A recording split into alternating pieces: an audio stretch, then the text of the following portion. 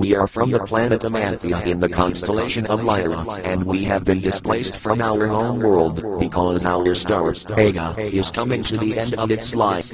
Your planet seems to offer everything we need, and your star, the sun, has another 5 billion years left in its life. We have been observing your Earth, and we'd like to make contact with you. We need a cold, spherical world which has a flat surface and is stable. Your world seems to be an ideal place for us.